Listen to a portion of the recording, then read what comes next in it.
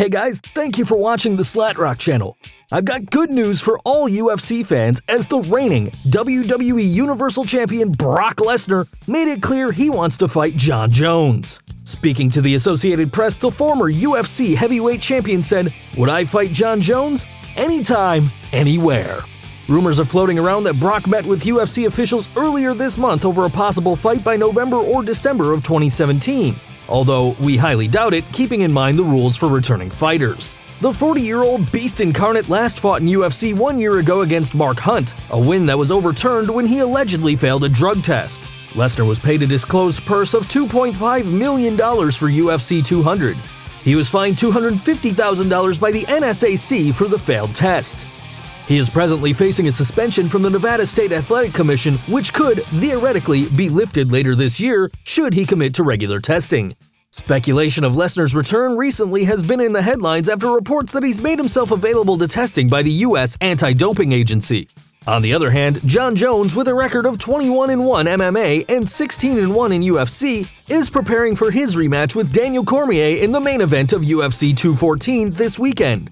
During the UFC 214 press conference that was held yesterday, Jones gladly accepted Brock's challenge by saying, I'll deal with Daniel, and then I'll deal with Brock Lesnar. Guys, it's funny how the whole thing started. Earlier this week, Jon Jones conducted a Facebook Live session where a fan pitched the matchup to Jones, and surprisingly, Jones didn't shoot it down, which added fuel to the fire.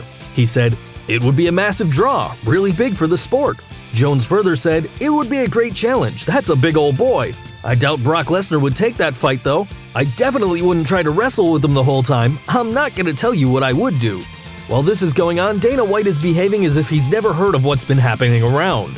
He said, It's crazy. I don't know where that thing came from or how it got started. Believe me, I haven't talked to Brock Lesnar, I don't know.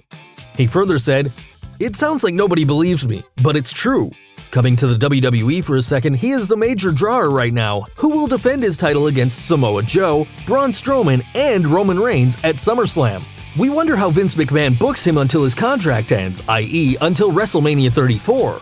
Will Brock Lesnar permanently leave WWE and venture into the world of UFC, or is this an on and off deal? Only time will tell.